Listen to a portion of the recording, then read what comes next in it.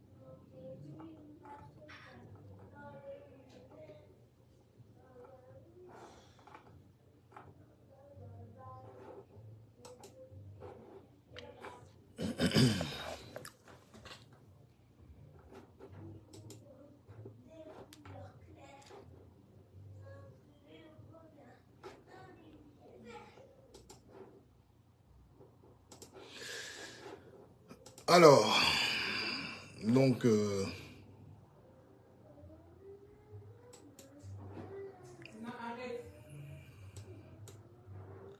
il y a plein de mogos façon qui suivent mes trucs là. Crois qu'il faut que je nettoie au niveau des gens qui suivent mes trucs. Parce qu'il y a plein de, spies, plein d'espions qui suivent mes trucs, tu vois, en secrète. Ouais, donc, euh, il y a eu un militaire français là, qui est venu sur un de mes trucs là. Il faut qu'il clean à chaque moment. Bref. Bon les gars, c'est de ça que je parlais. Tout à l'heure, là, la vidéo, même j'étais obligé de l'enlever. J'ai enlevé la vidéo parce que je trouvais que le mec, en fait, en question n'en valait pas la peine. Mais c'était un ras-le-bol parce que à chaque moment, c'est les mêmes discours. Quand vous ne pouvez rien faire, vous êtes là, vous venez suivre les vidéos des gens. Prenez juste la peine simplement de, soit en inbox ou même de commenter, quoi. Mais ne venez pas faire vos intéressants pour essayer de narguer. Parce que vous ne faites pas le quart de ce que les gens font. Les gens font au périple de leur quotidien, au périple de leur vie de famille, au périple de ce qu'ils font. Allez prendre des documents, lire les documents, voir s'ils sont authentiques. Allez lire des articles, essayez de faire des analyses sur des documents. Venir un truc et vous êtes là, vous vous dites euh, non les mecs ils disent rien et ta ta. Moi je fais pas ça. Vous savez moi je vais pas sur les lives des gens. Euh, Je vais pas sur les lives des gens pour dire ils ne disent rien. Ça m'intéresse pas parce que je sais que voilà, il y a des mecs, c'est pas le même état d'esprit. Quelqu'un avec le- laquelle, quelqu'un avec lequel pardon, j'ai pas le même état d'esprit. Je vais pas aller me prendre la tête en fait sur sa vidéo parce que sa vidéo va rien m'apporter. Est-ce que vous voyez Moi, par exemple, en passant, je peux voir une photo des mecs du PPACI, des trucs, ils me font rire. Au, au pire, ce que je vais faire, je vais mettre un émoticône qui rigole. Parce que pour moi, c'est des plaisantins. Vous voyez Ça, c'est mon point de vue. Et j'assume ce que je dis. Mais après, euh, voilà, j'ai pas allé p- perdre mon temps à aller développer, écrire plein de phrases pour des gens. Tu m'apportes rien. Tu vois Je me lève le matin, je travaille à la sueur de mon front. Tu n'apportes rien à ma famille, tu m'apportes rien. Sincèrement, tu m'apportes rien. Je te lis pas. Donc, euh, qu'est-ce que je j'ai pas, j'ai pas mon temps, je perds pas mon temps pour ça. Mais quand vous voulez, vous venez venir participer sur les posts des gens, prenez la peine de bien comprendre. Ou si vous ne comprenez pas, vous posez votre question. Si j'ai le temps, je vais répondre. Si j'ai pas le temps, je répondrai une prochaine fois. Ok? C'est de ça que je parlais là. Aux dernières nouvelles, en fait, Ousmane Sonko, ça ne va pas. Ousmane Sonko, il a inhalé un gaz, on sait pas.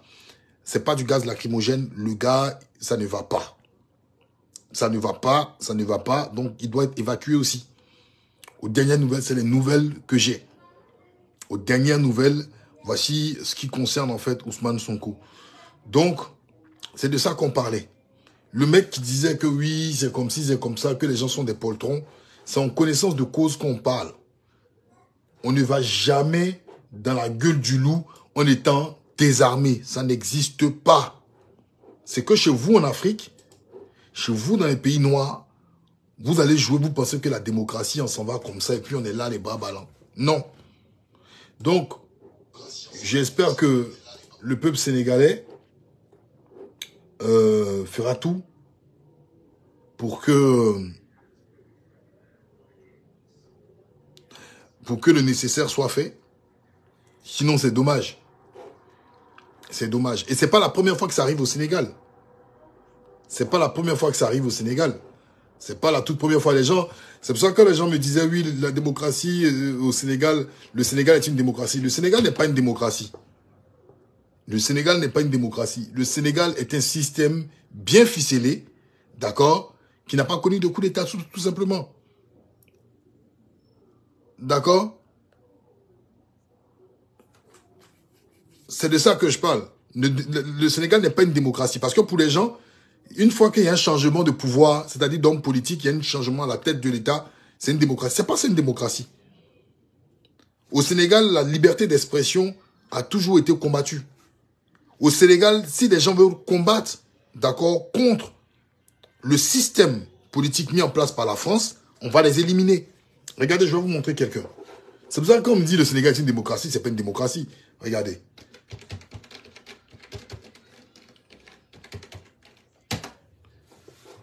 Vous voyez, je vais vous parler de Omar Blondin Diop. On va regarder juste Omar Blondin Diop. Et je vais vous dire qui est Omar Blondin Diop. C'est une tête, un cerveau. En Côte d'Ivoire, on ne vous l'a pas montré. Ouais, regardez. C'est lui Omar Blondin Diop. Vous allez entendre ce qu'il dit en une minute et vous allez comprendre.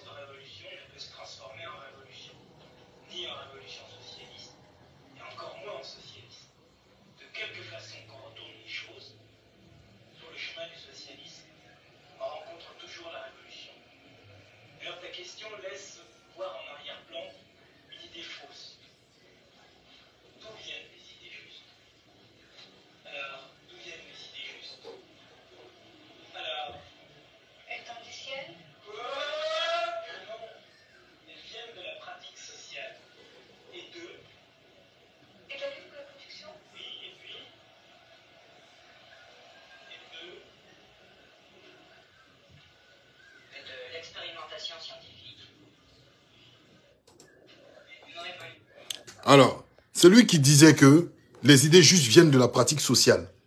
C'est une tête, c'est un cerveau, Omar Blondin Diop. Omar Blondin Diop. ok, je vais vous dire qui est Omar Blondin Diop. Omar Blondin Diop, il est issu d'une famille, d'à l'époque, d'intellectuels. Sa famille travaillait à l'époque au sein de l'AOF et euh, ses parents sont allés exercer. Il, a il est un côté malien, je crois, par sa mère, et un côté sénégalais par son père. Ils sont partis exercer au Niger. Omar Blondin Diop est né au Niger et il est revenu euh, à Dakar, mais en étant dans des écoles françaises.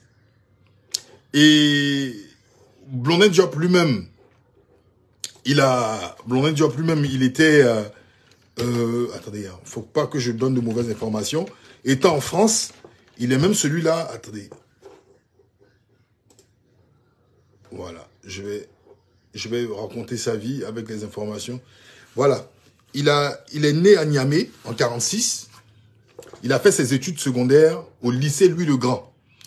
Tous ceux qui connaissent le lycée Louis le Grand, à l'époque, pour y être, il fallait être une tête. À Paris, il a poursuivi des études universitaires comme normalien. Il était à l'école, était à l'école normale supérieure de Saint-Cloud. Concours dont Emmanuel Macron a échoué. Et c'est à ce moment-là que Omar Blondin Diop, en fait, a eu une conscience politique très forte. À Paris, ses amis, c'était Antoine Gallimard. Il a rencontré Jean-Louis Godard, pour qui le film que je vous ai montré, c'était le film qui s'appelle La Chinoise. Le film est sorti en 67. Il était aux côtés de Jean-Pierre Léo et Dan Wiazemski dans le rôle du camarade X. Il est militant maoïste. Écoutez bien. Il est militant. C'était un maoïste. C'était un maoïste, Omar Blondin Diop. D'accord? Il habitait la résidence universitaire des Nanterre. Donc, bon, moi, j'ai pas parlé de ce film. Ils ont, dans ce film, simplement, ils voulaient faire appliquer les idées de Mao Zedong en Chine. D'accord? Et euh, il avait projeté d'assassiner un dignitaire. Bref, je vais pas parler du film. Donc, il a fréquenté les milieux étudiantins. Il a participé aux événements de mai 68. Omar Blondin Diop. Je vais vous montrer sa photo. Voilà là. Vous le voyez là? Le voilà là. OK? Donc, il a participé, vous voyez Daniel Cohn-Bendit, mai 68. Donc, Blondin Diop participe à l'occupation de l'ambassade du Sénégal à Paris le 31 mai. Les jeunes qui me critiquaient tout à l'heure là, vous voyez, en 67, lui, il a occupé l'ambassade du Sénégal à Paris en 68. D'accord? En 67, pardon. Avec le maoïste Landing Savané. Il y avait des maoïstes sénégalais. Des maoïstes sénégalais. À Dakar, les événements de mai 68 ont eu un retentissement important. L'agitation syndicale et scolaire aboutit à la crise politique sénégalaise de 1968. Le gouvernement sénégalais prendra des mesures coercitives Partis étudiants, associations, regroupements interdits. La population s'agite et manifeste dans la ville de Zengeshore. C'est les mêmes villes, aujourd'hui encore au Sénégal, sous Ouma Sonko, qui sont en ébullition. Et en Casamance. Ce sont les mêmes villes. Donc l'histoire répétitive. Omar gardera contact avec les mouvements communistes français et ses camarades parisiens. Et sera aux côtés des militants du Parti communiste sénégalais de Landing Savané. Ce dernier était élève à l'ENSAE obtient son diplôme d'ingénieur statisticien, économiste en juillet 69 et rentre aussitôt au Sénégal pour intégrer la fonction publique sénégalaise et devient le premier cadre sénégalais à être nommé chef de la division de la démographie et des enquêtes. Omar Blondin Diop est expulsé de France en 1969. À Dakar, il poursuit ses activités révolutionnaires soutenues par ses frères cadets, ses frères ardents, militants anticolonialistes contre la politique pro-française de Senghor qui s'est adjoint au poste de ministre de l'Intérieur, un proche de Jacques Foucault, qui est le français Jean Collin. Je vais vous montrer qui est Jean Collin. Attendez. Ça veut dire qu'en 68, 69, le ministre de l'Intérieur sénégalais était un Français. D'accord? En 68, 69, hein Jean Collin, je vais vous montrer sa tête. Et c'est un proche de Foucault. C'est l'histoire qui se répète. Le voilà. Et ça, les petits corsillars là d'Abidjan là, vont venir me dire que moi, je passe mon temps à parler, je ne connais pas. Vous voyez Jean Colin, vous voyez le ministre de l'Intérieur du Sénégal, en 68-69, sous l'épaule Sénat Senghor. Le voilà ici. Il était ministre de l'Intérieur du Sénégal. Ça, on vous a appris ça en Côte d'Ivoire dans votre école. On vous a appris en Côte d'Ivoire dans vos partis politiques. Bande de... Je sais pas quoi. Donc, on continue. Je lis mon truc. Là, vous avez la grande gueule. Vous ne connaissez pas comment le monde fonctionne. On vous explique.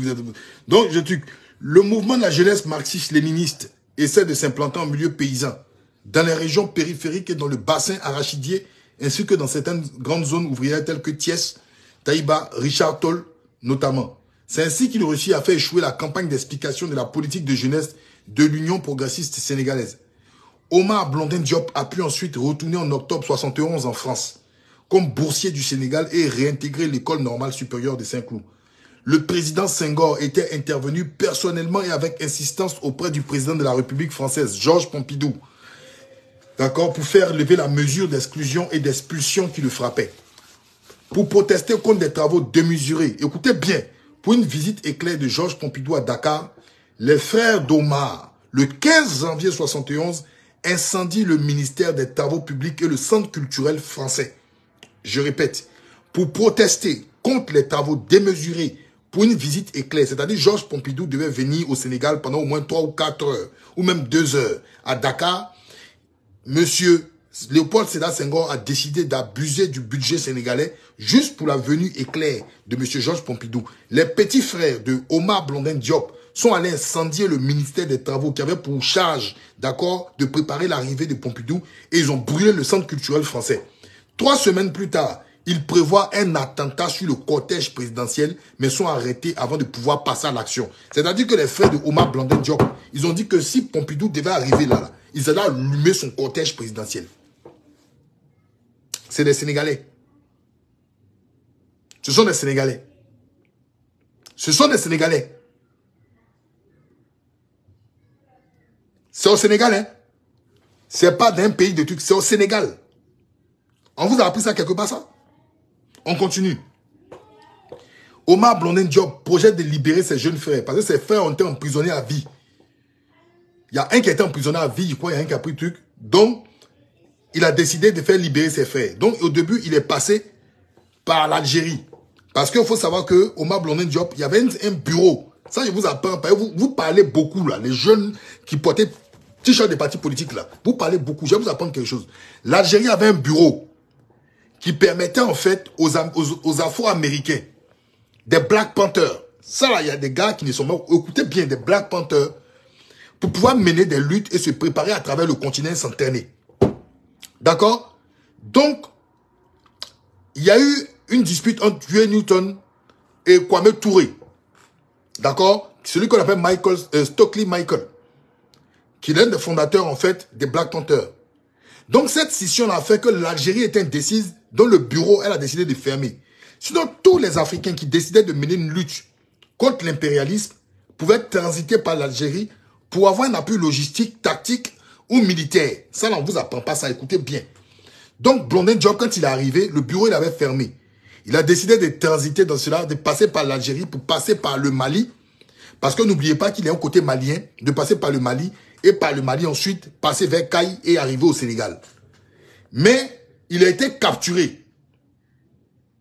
Omar Blondin Diop projette de libérer ses jeunes frères depuis le Mali où il s'est réfugié. Plusieurs ruptures interviennent au sein du mouvement maoïste sénégalais. Ils ont cassé le mouvement maoïste sénégalais de l'intérieur.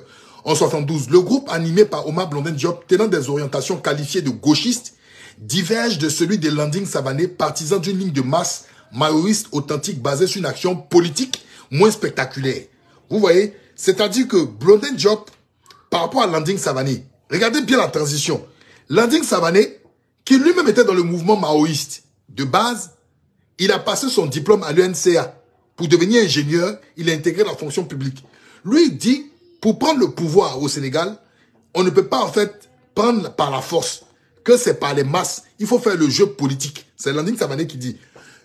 Blondin Diop lui dit que dans le côté maoïste, il faut, par les masses, s'il faut prendre des armes pour renverser le pouvoir qu'elle a parce qu'il est brutal, le pouvoir qu'elle a, il ne coûte pas, il faut le faire. Donc, il y a une séparation. Or, Blondin Diop, lui, n'a pas intégré la fonction publique sénégalaise.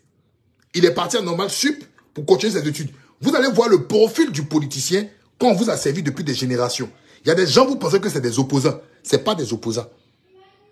Une fois que tu intègres la fonction publique et tu sais que le secteur qu'elle a, le pouvoir qu'elle a est injuste, mais tu es en compromis, tu es en couverture, tu fais le jeu politique selon la vision du colon. Est-ce que vous comprenez? Attendez, attendez, attendez, attendez, attendez, attendez, attendez. Parce que, les gars, je regarde sur mes vidéos là. Attendez, hein, attendez, attendez, attendez, attendez, hein, attendez. Parce que ça fait deux fois. Excusez-moi, ça fait deux fois. Je suis traqué actuellement par des moraux ici. C'est des grattés. Je ne sais pas si ce qu'il dit là, c'est les gènes. Mais, je vais montrer que je suis plus à mon donc Un instant, s'il vous plaît. Un instant. Je vais juste aller voir le profil de quelqu'un. Heureusement que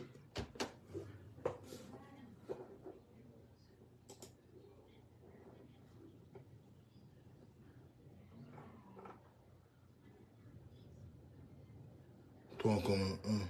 Ok. Ok. Champion, bye bye, adieu. Tu pourras plus me voir. Donc, euh, vous voyez, donc, ça vous confirme en fait qui est Blondin Diop. Ça vous confirme en fait qui est Blondin Diop. À partir de ce moment-là, voilà. À partir de ce moment, ça vous donne déjà l'idée des opposants qu'on a eu depuis au moins 40 ans, 50 ans. Landing Savané a intégré, il était maoïste, il a intégré la fonction publique, il s'est séparé de Blondin Diop. Écoutez par la suite. Écoutez par la suite. Ce qu'on nous dit. Donc, Blondin Diop veut aller récupérer ses frères qui sont enfermés par Senghor. Ok? Il veut aller récupérer ses frères, il s'entend plus avec Landing Savané. Donc, Omar Diop, Omar Blondin Diop, ok? Omar Blondin Diop projette de libérer ses jeunes frères depuis le Mali où il s'est réfugié. Il se sépare de maintenant Landing Savané. Omar Diop est capturé et extradé vers le Sénégal. Le 23 mars 1972, il est inculpé, condamné par le tribunal spécial sénégalais à trois ans de prison pour atteinte à la sûreté de l'État, au nom de l'article 73, alinéa 2 du Code pénal. Il est emprisonné dans le cul de Basse-Fosse, de la prison de l'île de Gorée. 14 mois plus tard, on le retrouve mort par strangulation. Ils l'ont étranglé. La population en colère exprime sa colère. Le Sénégal est au bord du chaos. Le gouvernement français participera au maintien de l'ordre à Dakar jusqu'au retour au calme. Omar Blondin Diop avait 26 ans lorsque l'administration pénitentiaire sénégalaise annonça son suicide par pendaison dans la nuit du 10 au 11 mai 1973. Le journal Le Soleil relayait la version officielle du suicide. Oh, il n'a pas été, il ne s'est pas suicidé, il a été étranglé. Normalement, on lui a donné un coup même sur la nuque. D'accord? On lui a donné un coup sur la nuque. Alors qu'une partie de l'opinion nationale et internationale penchait plutôt pour la thèse de l'assassinat d'un jeune homme engagé dans le combat pour la libération de l'Afrique. En 2013, un de ses frères cadets, le docteur Diallo Diop, a saisi la justice sénégalaise pour une demande de réouverture du dossier pour faire la lumière sur le drame concernant la mort de Omar Blondin Diop. Quand vous voyez ce qui se passe aujourd'hui avec Ousmane Sonko, vous ne voyez pas de similarités? Vous ne voyez pas, vous ne voyez aucune similarité? Quand vous voyez ce qui se passe là, vous ne voyez pas de similarités avec ce qui se passe en Côte d'Ivoire? Donc quand les gens viennent vous dire qu'au Sénégal, il y a des démocraties, il n'y a pas jamais eu de démocratie dans les enclos coloniaux. Ça n'existe pas. C'est que tous ceux qui ont été présidents au Sénégal ont été toujours des gens qui ont travaillé pour la France. OK? Ont toujours été des gens qui ont travaillé pour la France. Et des gens qui me disent, tout à l'heure, il y a un jeune homme qui est venu comme ça qui dit, toi tu parles, tu parles, tu parles, tu viens en France. Omar Blondin Diop, il a fait école normale sup. Une école où Emmanuel Macron a échoué. C'était une tête. C'était celui-là même qui était devant mai 68, mais c'était un maoïste. Et lui, avec ses petits frères, ils étaient tellement engagés. Eux, pour eux, s'il fallait défendre le Sénégal avec les armes, ils étaient prêts à le faire. Est-ce que vous comprenez? Vous êtes assis là-bas chez vous à Yopougon dans les meetings. Vous pensez que c'est en faisant des élections que vous allez renverser les trucs. La vie est une question de philosophie, d'idéologie et de bataille. Je n'ai pas dit aux gens de faire des coups d'État. Mais le respect, là, il se l'arrache. Le respect, il se l'arrache. Il y a deux choses. Le savoir et des choix à faire pour sa vie. Omar Blondin Diop a fait un choix pour sa vie, pour le Sénégal. Il n'a pas regardé les partis politiques. Il s'est séparé de Landing Savané. Est-ce que vous connaissez Landing Savané aujourd'hui? On ne parle pas de Landing Savané, mais on peut parler de Omar Blondin Diop jusqu'à aujourd'hui. Si je vous ai pas parlé de Landing Savané, vous connaissez Landing Savané Vous êtes assis chez vous là-bas en Côte d'Ivoire, un boîte, boîte t-shirt, un bon leader politique sur, vos t-shirts là. Vous connaissez cela? Vous ne connaissez pas même, même l'histoire de l'Afrique. Vous dites que vous êtes des panafricains, vous ne connaissez même pas. C'est quelqu'un qui est à 6000 km de chez vous qui a venu vous apprendre l'histoire. Ça existait au Sénégal. En 1969, le ministre de l'Intérieur du Sénégal était un Français, un proche de M. Jacques Faucard. Et on vous dit en 72, quand, euh, tout qu'on appelle, comment dire, en 72, le 11 mai 73, quand Omar Blondin Diop a été assassiné, c'était le chaos au Sénégal. Les forces de l'ordre françaises ont participé au rétablissement de l'ordre. Le Sénégal est-il un pays indépendant depuis 1960, oui ou non? Je vous pose la question. Est-ce que le Sénégal est un pays indépendant? Donc, la démocratie au Sénégal n'existe pas. Léopold Sédar Senghor est un sujet français, un très bon sujet français. Abdou Diouf, qui a présidé la francophonie, est un très bon sujet français, parce qu'il fut gouverneur, très jeune gouverneur sous Senghor, à Louga, précisément. Abdoulaye Wade est un sujet français. Je ne vais pas vous refaire l'histoire. Pourtant, il était opposant historique. C'est un sujet français. Et M. Macky Sall est un très bon sujet français. Donc, en sujet français, la passation se passe toujours en douce. Surtout si on s'y plie, avec une dose de religiosité là-dedans. En Côte d'Ivoire, été pareil. Tout ce que vous avez vu à la tête de l'État de Côte d'Ivoire sont des sujets français. D'accord? Tous les présidents que vous avez vus en Côte d'Ivoire sont des sujets français. Omar Blandin Diop, vous avez vu la différence entre Landing Savané Landing Savané était dans la branche maoïste, mais lui disait c'était les bras nus que lui croyant la politique. Ça vous fait pas penser à nos intellectuels de gauche de Côte d'Ivoire? Qui ont eux-mêmes aussi professé en Côte d'Ivoire? C'est toujours été comme ça. Voici la réalité qu'on ne vous dit pas. depuis Oufot Boigny jusqu'à maintenant, ils ont tous aussi été des sujets français. Pour le cas de Laurent Gbagbo, il a juste voulu user de superfuge. Et c'est pour cela les gars ne voulaient pas que, surtout si les masses, par rapport à ce qui s'est passé en 2004, si les masses se levaient encore pour chasser complètement les étrangers, et en particulier la France, ça allait être difficile pour eux de reconquérir leur marché. Or, la Côte d'Ivoire, ils ont fait une mission de prospection sur la Côte d'Ivoire, moi, sur 60 ans ou 100 ans. Comment faire pour davantage encore, dans le cas des crises économiques, davantage reprendre les secteurs stratégiques en Côte d'Ivoire et autres. Donc, pour ne pas retarder leurs échéances, il fallait mettre le rouleau compresseur et celui qui était celui-là qui pouvait ressembler, c'était qui? C'était euh, c'était truc qu'on appelle, comment on dit, Alassane Ouattara. Donc, ils ont mis Alassane Ouattara, tout simplement. Ils l'ont positionné là. Quand Sarkozy dit on a fait le travail, c'est la réalité. Ils ont fait le travail, ils ont fait le job, ils ont mis Ouattara. Donc, voici la réalité. Donc, aujourd'hui, Sonko, aujourd'hui, Sonko, Sonko ne rentrait pas dans leur jeu.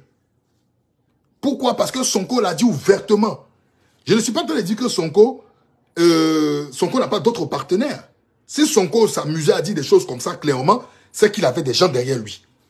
Mais ce n'était pas dans le sillage de la France. C'était pas dans le sillage de la France. Donc ça ne les arrange pas. Ça ne les arrange pas. Parce que toute la, une bonne partie de la classe politique, à part les Guy Marius Sagna, les Dias, mais sinon une bonne partie de la classe politique française et sénégalaise est achetée par la France. Comme en Côte d'Ivoire. Il n'y a aucune différence, les gars. Ils vont jamais vous dire, mais c'est la, la vérité. C'est la vérité. C'est la vérité. Il y a le socialisme en France. Il y a le libéralisme. Il y a les partis de droite et de gauche. Mais pourquoi Blondin Diop a, adhéré à la thèse maoïste? Un cerveau. Pourquoi lui, il a dit que c'est la thèse maoïste qui était bonne pour le Sénégal? Mais c'est parce que c'est une réalité par rapport à chez lui. Il voit le, Sénégal à l'échelle de la Chine dans les mêmes souffrances et c'est les masses paysannes. C'est pas une révolution d'ensemble qu'on peut changer les choses. Mais tous ces présidents qui étaient Félix Houphouët-Boigny, Léopold Sédar Senghor et les autres pays, les autres présidents, ils ont combattu ces idées de gauche. Mais parce qu'ils étaient soutenus par la France. L'histoire se répète. Mais regardez Blondin Diop, regardez son niveau. L'État norme sup. C'est pas quelqu'un qui a arrêté ses études à l'université. Regardez vos jeunes leaders là. Vous allez voir la différence. Il avait un programme, il avait des idées. Ça n'a rien à voir avec ce qu'on nous sait maintenant. C'est des gens qui allaient au bout, au, bout de leurs études. Mais le patriotisme, il le vivait. L'idéologie de ce qui était bon pour eux, il le vivait. Et regardez le parcours de Songo. Il était au trésor ou aux impôts. Il a démissionné de son travail. Il ne souffre d'aucune indignité, n'a jamais pied dans les caisses de l'État. Donc il pouvait se permettre de ce qui n'allait pas. Chez vous, là, vous pouvez faire ça. Chez vous, là, vous pouvez faire ça. Opposants comme ceux qui sont au pouvoir. Vous deux, vous connaissez, vous deux même, vous connaissez vos, vos casseroles. Voici la réalité. Donc, le jeune homme, j'ai effacé la vidéo où je, parlais parce que je me disais que c'était de donner de la valeur. Mais allez apprendre l'histoire. Ça existait au Sénégal, Omar Blondin Diop. Allez apprendre l'histoire d'Omar Blondin Diop. Vous allez voir, vous allez entendre ces idées. C'était une tête, c'était un cerveau qui a été éliminé par son propre pays. Donc ça ne m'étonne pas ce qui arrive aujourd'hui à son coup. Ça ne m'étonne absolument pas. Et je vous avais dit ici, j'ai partagé des posts, je vais les repartager, où je disais que je voyais le Sénégal dans une situation qui était pire que celle de la Côte d'Ivoire. Parce qu'aujourd'hui, il y a un conflit générationnel. Et aussi il y a l'indécision aussi des hommes religieux qui sont beaucoup aussi consultés par les populations sénégalaises. Donc, je vois ce chaos, et en même temps, avec le tournant géopolitique, je vois ce chaos-là, mais vous n'imaginez même pas. Sinon, voici le ministre de l'Intérieur du Sénégal, Jean Collin, en 1972. Regardez, regardez, regardez. Vous voyez le ministre, ministre sénégalais. Un proche de qui? De Jacques Foucault. Lui, il était ministre de l'Intérieur au Sénégal.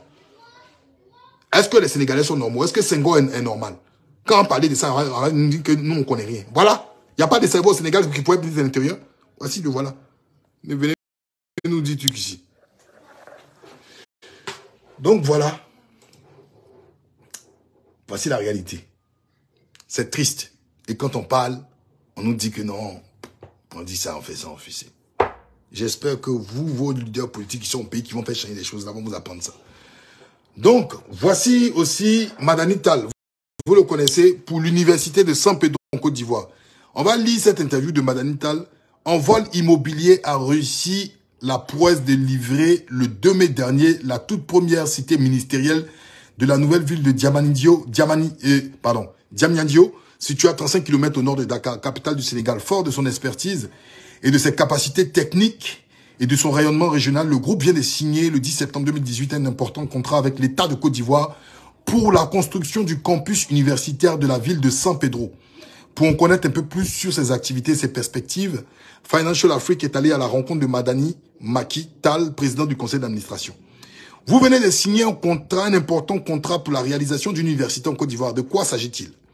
En effet, dans le cadre du programme de décentralisation des universités en Côte d'Ivoire, PDU lancé en 2014, notre groupe, à travers sa filiale Envol Partenariat, Côte d'Ivoire vient de se voir confier dans le cadre d'un partenariat public-privé la réalisation de l'université de San Pedro dans le sud-ouest sud-ouest pardon de la Côte d'Ivoire.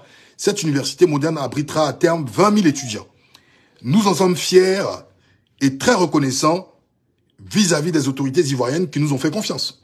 C'est un projet majeur pour la jeunesse ivoirienne et les étudiants de demain dans ce grand pays de la sous-région ouest africaine. L'implantation de ce grand projet universitaire permettra aussi de renforcer la politique du gouvernement ivoirien en matière d'aménagement du territoire. En mai dernier, Envol Immobilier a livré la première tranche de la sphère ministérielle de Diamandio. Pouvez-vous revenir sur ce projet complexe des montants des investissements engagés, le rôle des différentes parties prenantes? Donc, à Diamandio, le 2 mai 2018, on voit Macky procéder à l'inauguration de la première sphère ministérielle de Diamandio. La création de la nouvelle ville de Diamandio par le biais des partenariats publics et privés est une des priorités du plan Sénégal émergent, PSE. Dès que les grandes lignes de ce vaste programme ont été présentées par les autorités sénégalaises, à l'ensemble des partenaires privés, nous avons tout de suite été séduits par les possibilités d'aménagement de ce nouvel pôle, ce nouveau pôle urbain, pas très loin de Dakar. L'objectif recherché est une cohérence d'ensemble qui fait que tout est sur place. On y travaille, on y habite, on y trouve les structures scolaires et sanitaires, des loisirs et une bonne qualité de vie. C'est ainsi que, convaincu de la pertinence de cette vision, Envoi l'immobilier Sénégal a répondu à l'appel lancé par le chef de l'État Macky Sall au secteur privé en proposant la réalisation de cette sphère ministérielle. Je rappelle ici que deux autres développeurs ont aussi été retenus par l'État du Sénégal pour la réalisation de deux, de deux autres sphères ministérielles qui sont Telium et Getran. La sphère ministérielle construite par Envol Immobilier Sénégal abritera plus de 1600 fonctionnaires. C'est un ouvrage de plus de 42 000 mètres carrés de surface bâti clé en main. Il est entièrement équipé, meublé et combine harmonieusement esthétique architecturale, architecturale pardon, bâtiment intelligent, réseau interconnecté, efficience énergétique, le tour sur 3,5 hectares. Donc Kadija Gay Calvagna, chef de projet, sphère ministérielle en vol. Le coût global de l'investissement est de 56 milliards de francs CFA. Son financement a été assuré par envol immobilier grâce notamment à un prêt de 30 milliards de francs CFA octroyé par le groupe Coris Bank. Nous pensons que ce projet de sphère ministérielle est un modèle de réussite fondé sur la confiance de l'État du Sénégal aux développeurs que nous sommes et l'audace d'une banque africaine qui a bien voulu nous suivre. Il convient de rappeler aussi que nous avons bénéficié de l'accompagnement et des conseils du gouvernement et de l'administration, en particulier de nos partenaires directs du ministère de l'économie et des finances et du plan impôt et douane, ainsi que ceux de la direction générale du pôle urbain de Diamandio et du lac Rose de l'agence du patrimoine bâti de l'État, nos principaux interlocuteurs au jour le jour. Votre tranche cité ministérielle de Diamandio a été livrée en avance par rapport au délai retenu dans la convention. Qu'est-ce qui explique cette célérité? En effet, nous avons livré la sphère ministérielle avec sept mois d'avance sur le délai contractuel que nous avions avec l'État du Sénégal, ce qui est peu courant dans le BTP. Avec la particularité du sol de Diamandio, un sol à argile gonflante, nous avons décidé de démarrer les travaux avant la saison des pluies, c'est-à-dire en mai 2016, ce qui nous a permis d'avoir cette avance sur le planning prévisionnel. Nous avons réalisé la sphère avec notre partenaire technique WUETC, ce constructeur de renom a réalisé les aéroports de Lomé et de Brazzaville, la cité ministérielle de Kinshasa, 10 000 logements à Malabo pour ne citer que ces quelques projets d'envergure. Rien qu'en Afrique, il convient de noter aussi que dans le cadre de ce projet, conformément à notre désir d'impliquer les entreprises locales, nous avons confié environ 60% des travaux à des entreprises sénégalaises Diengenco, Cerex, Texen Sodéquipe, Sodacom, Afrique Ascenseur, Géquipe, Sésame Informatics, Ceram Energycom. À Dakar, nous avons pu nous entourer d'une équipe de classe internationale, comme je l'ai qualifié, avec des, références et des compétences qui nous permettent aujourd'hui de proposer partout dans la sous-région des projets clés en main en mode fast track, c'est-à-dire livrés en moins de 24 mois. Peu de Sénégalais connaissaient en vol immobilier avant votre arrivée sur la ville nouvelle de Diamandio. Quelles sont ces références, son actionnariat, son périmètre de compétences? Envol Immobilier Sénégal est une société anonyme de droit sénégalais avec un capital de 2 milliards de francs CFA. Envol Immobilier Sénégal est une émanation du groupe Envol Afrique. Le groupe Envol Afrique est déjà bien implanté en Côte d'Ivoire, au Mali, en Guinée, au Sénégal, au Burkina Faso Il intervient dans l'industrie de transformation des technologies, l'énergie, des télécommunications avec un chiffre d'affaires annuel supérieur à 100 milliards de francs CFA et un effectif de plus de 2000 personnes. Par ailleurs, les gestionnaires d'envol immobilier Sénégal ont une somme d'expérience considérable dans les institutions internationales, dans le privé et dans l'action gouvernementale. Je suis fier de dire aussi que nous avons recruté des jeunes Sénégalais extrêmement brillants à travers la diaspora. Ces jeunes nous apportent fraîchement, et fraîcheur, pardon, innovation, créativité, une grosse capacité de travail. En passant, je voudrais d'ailleurs faire noter que le chef de projet sur l'affaire ministérielle de Diamandio est une jeune Sénégalaise de 32 ans, formée dans les écoles d'ingénieurs au Sénégal. Donc voilà. Bon, là, on parle du Sénégal, on parle du Sénégal, on parle du Sénégal, on parle du Sénégal. Et voilà, c'est là, il est là. C'est Madani Tal. Vous le connaissez en Côte d'Ivoire. Vous l'avez vu plusieurs fois dans les choses d'État. Très proche de, du gouvernement. Il était proche aussi d'Ahmed Bakayoko. Proche aussi de Monsieur Big Togo. Alors, ma question posée. Je suis d'accord pour envoi l'immobilier et pour la stratégie mise en place par Macky Sall. Macky Sall veut développer un pôle qui serait proche de Dakar, celui des Diamandios, et en même temps pour déplacer une partie du gouvernement, des bureaux du gouvernement, c'est une bonne chose. Il sollicite qui? Une entreprise sénégalaise. En Côte d'Ivoire, nous, on n'a même pas fait d'appel d'offres. On est parti, on a sollicité un vol immobilier. Mais on nous a parlé aussi d'une société, Telium. Hein? Telium Construction. Je vais parler de Telium Construction. Je vais voir Telium Construction qui est derrière. C'est ce qui est intéressant en Côte d'Ivoire. Alors, Telium. Ok, voici Telium. Qui est le Synteco. Faut pas me dire que j'invente. Hein. Ok?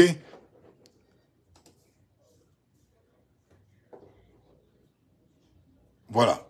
Telium Group est un groupe panafricain basé en Afrique subsaharienne avec une forte présence dans divers secteurs d'activité en Afrique de l'Ouest et du centre tels que l'immobilier, hôtellerie, finance, industrie, énergie, logistique et télécommunications. Vous voyez Telium, qui fait partie de la construction du projet. On va voir qui est le créateur de Telium. Avant l'avènement, groupe Telium, Yerim Abibso. Ah, c'est Yerim Abibso. Qui est Yerim Abibso On va regarder Yerim Abibso. Yerim Abib So.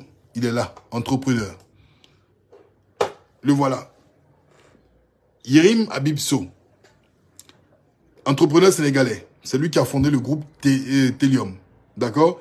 Les réseaux ivoiriens et sénégalais de Yerim So par Jeune Afrique. On va cliquer dessus. Ce Ivoiro-Sénégalais, ah, il est Ivoiro-Sénégalais, qui suit avant toutes ses intuitions, était l'un des premiers à anticiper l'explosion des télécoms. Il est actionnaire historique chez MTN Côte d'Ivoire. Il est aussi copropriétaire de Free au Sénégal, aux côtés du malgache Hassan Iridje et du français Xavier Nel.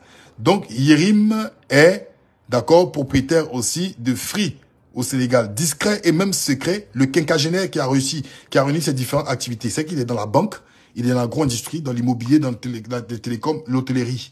Donc, en cette période de pandémie mondiale, il devra encore faire preuve de patience pour mener à bien les chantiers des hôtels de sa filiale Mangalis à Dakar, Assini, Dakar, Abidjan, Assini, Cotonou, Pointe-Noire. Il prévoyait par exemple d'ouvrir un établissement qui est le Noum en mai Abidjan.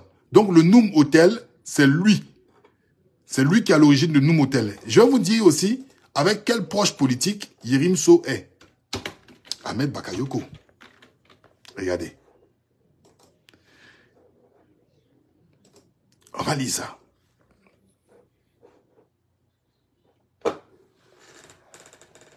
Jeunesse Ahmed Bakayoko officiel. Qu'est-ce que vous lisez? Mon parrain, M. Yerim So, ça bouge pas. Afrique de l'Ouest complet. Dieu est tout puissant. Donc vous comprenez? Vous comprenez maintenant? Et bizarrement, il y a l'un des fils d'Ahmed Bakayoko qui porte son nom, celui-là, Yerim. Donc, vous comprenez? Voilà.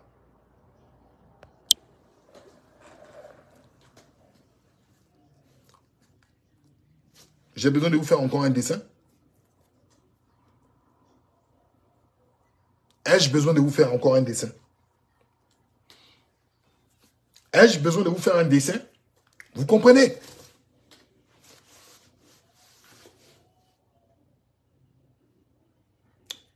Cher Anta Diop disait au Sénégal, je vais m'arrêter là. Ça doit vous servir. C'est pas seulement à l'école. Cheikh Anta Diop, regardez. Cheikh Anta Diop aussi était un opposant. Hein. Il était un opposant aussi au régime politique au Sénégal. Lui aussi, on n'a pas raté parce que sa mort même semble bizarre. Puisque personne n'a encore fait une véritable autopsie. Donc, Cheikh Anta Diop aussi était gênant pour l'État sénégalais.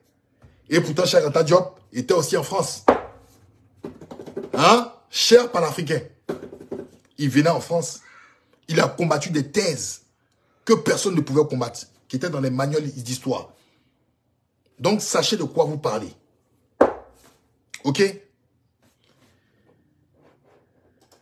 Il disait quelque chose de très important.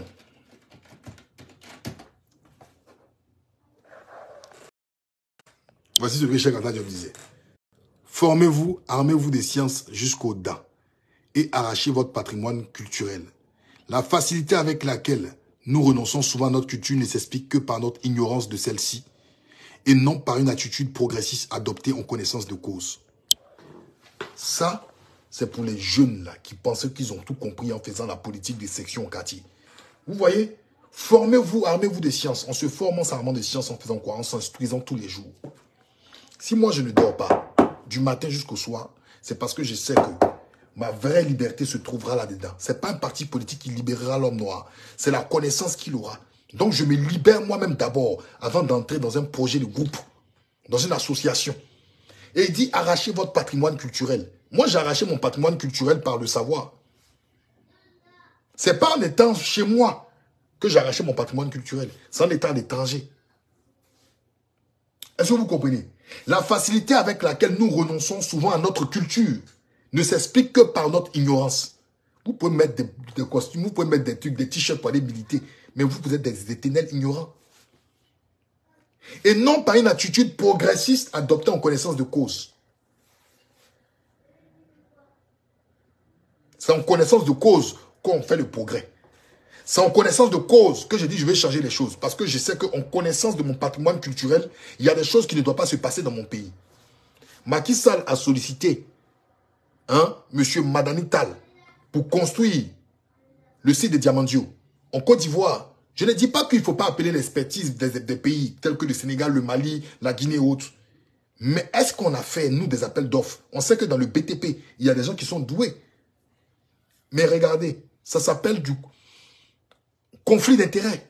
Parce que Yerim So est le parrain d'Ahmed Bakayoko. Ahmed Bakayoko au pouvoir, c'est lui, à lui on confie c'est à Telium qu'on confie la construction d'une université à hauteur de 200 milliards dans le sud-ouest, à San Pedro. Il y a combien de personnes qui vont vous élucider là-dessus? Il y a combien de personnes? Nous, on a compris. On est dedans. Le même combat qu'on mène pour le Sénégal, c'est le même combat qu'on mène pour la Côte d'Ivoire. C'est moi, je suis le premier, je dis aux Sénégalais, votre pays n'est pas une démocratie. Votre pays est un enclos colonial parents du Sénégal, votre pays est un enclos colonial. De la même manière que Omar Blondin Diop était éliminé en 73, c'est de la même manière qu'on fait un remake sur Sonko. C'est ce que vous n'avez pas compris. Et si vous, Sénégalais, en 1973, votre ministre de l'Intérieur est M. Jean Collin, qui est un blanc, mais dites-vous que vous n'êtes pas indépendant. Donc quand Sonko dit que le Sénégal n'est pas la Côte d'Ivoire, mais il se trompe. Frère Sonko, il te montre aujourd'hui que le Sénégal est la Côte d'Ivoire. Mais c'est pas quoi? C'est pas l'éveil des masses que ça va changer au Sénégal. Parce que, faites attention, les chefs religieux qui sont toujours là, qui disent la paix, la paix, la paix. Un chef religieux qui ne tranche pas pour la vérité, pour les masses, est un chef religieux qui est dans la continuité. Si les chefs religieux au Sénégal n'ont jamais été inquiétés, ou ils été inquiétés à un moment de l'histoire, ils se sont adoucis. Parce qu'il faut savoir que des gens comme les LH Omar Tal avaient aussi le Coran à leur côté, quand ils mettaient leur combat. Le Sénégal ils mettaient le Coran à leur côté pour combattre. Mais les Hajj Omar Tal sont reconnus aujourd'hui comme des conquérants, comme des libérateurs. Mais après El Hajj Omar Tal, est-ce que les autres chefs religieux ont, décidé de mener la lutte contre le colon encore? Non, ils ont décidé de collaborer ensemble. Ils se sont pacifiés. Est-ce que cette pacification-là, après l'histoire, hein, est-ce que cette pacification après l'histoire-là, elle s'est perpétrée? Est-ce que vous voyez des chefs religieux? Parce que normalement, un chef religieux, qui est pour la vérité, va dire que des ministres volent, va dire que, euh, que l'argent appartient au peuple sénégalais. Mais ils sont là toujours pour tirer des décisions. C'est pareil partout. Les valeurs religieuses ou traditionnelles ont été monnayés, ont été travestis. Maintenant, le peuple sénégalais, c'est à vous que je vais m'adresser. La jeunesse sénégalaise, n'allez pas, ils vous blaguent quand ils vous disent que vous êtes un exemple de démocratie. C'est pas ça. L'exemple de démocratie que vous aurez, c'est que les Sénégalais mangent à leur faim. C'est que l'argent d'un Sénégalais qui sort des caisses de l'État, on doit savoir la destination de cet argent. C'est que les privilégiés au Sénégal doivent être le peuple prioritairement. Et que le Sénégal soit libre de choisir ses partenaires. Et que cette vieille garde sénégalaise, depuis l'époque coloniale jusqu'à aujourd'hui, qui perdure, ne soit plus, d'accord, une actualité. C'est là le Sénégal sera le Sénégal. Vous n'avez pas à compétir avec d'autres cieux pour dire que vous êtes un exemple de démocratie. Ce que vous avez à avoir, c'est le bien-être de vos populations. Point. Basta. Et si vous le faites bien, ça va être aussi une contagion, aussi un exemple aussi pour les autres peuples à côté. Parce que que vous voulez ou pas, le Sénégalais n'a pas de particularité par rapport à l'Ivoirien. Vous êtes tous les mêmes. La preuve, on vous appelait tous des tirailleurs. On vous a tués comme des cons à tiaroy. C'est un symbole. Et jusqu'à aujourd'hui, justice n'a jamais été rendue. Donc, voici les faits. Voici la réalité. Vous n'avez jamais été une démocratie comme la Côte d'Ivoire. Il y a toujours eu des gens, c'est des fonctionnaires pour la France, des fonctionnaires de colonie, des Senghor jusqu'à Macky jusqu'à aujourd'hui. Donc, jeunes du Sénégal, la réalité est entre votre main. Le destin du Sénégal est entre vos mains. Nous, nous allons vous soutenir comme on peut. On va revenir sur ce qu'il faut revenir. Mais le Sénégal, le destin du Sénégal est entre vos mains. Et ne regardez pas tous ces anciens ou ces personnes qui vont vouloir vous faire retrograder. Le Sénégal est un pays riche, qui a un potentiel riche, qui a une population jeune riche. Et nous sommes avec vous. Mais tous ceux qui vont vous tirer vers le bas, sachez faire la différence chez le peuple sénégalais. Parce qu'ils sont partout. Ils ont tous le même profil. Ils se ressemblent tous. Que ce soit dans nos pays, que ce soit chez vous. Les opposants, c'est le même profil. Vous avez vu l'exemple que j'ai donné sur Omar Blondin Diop? C'est très important. Donc, à bon entendeur, salut. Je souhaite bon rétablissement et que mes ancêtres les plus valeureux, ceux que je connais, ceux qui me ressemblent, puissent soutenir Sonko et qu'ils puissent sortir de là. Qu'ils puissent soutenir Guy, Sanya, Marius et qu'ils aient aussi la force. Qu'ils puissent soutenir les Dias et tous ces jeunes Sénégalais qui ne sont pas corrompus. Qu'ils puissent vous soutenir. Nous sommes de tout cœur. Le combat, est tout azimut. Le combat, il est tout azimut. Et nous sommes ensemble. Si ça va au Sénégal, ça ira en Côte d'Ivoire. Si ça va en Côte d'Ivoire, ça ira au Mali. Si ça va au Mali, ça ira au Burkina. Et c'est ça le plus important. Mais ce n'est pas avec l'amusement ou les choses, les slogans là va vite. C'est ce que Cheikh Diop disait. C'est la science, c'est le savoir. Si tu ne sais pas, tu ne peux pas mener un combat contre ton ennemi. Si tu ne sais pas, tu ne peux pas mener le combat. C'est le savoir. Voilà. Donc, j'allais terminer. Et force aux Sénégalais. Et vous avez vu ce qui s'est passé pour l'université de San Pedro. C'est une confirmation.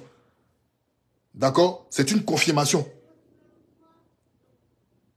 C'est une confirmation. Donc, effectivement, l'État de Côte d'Ivoire règle M.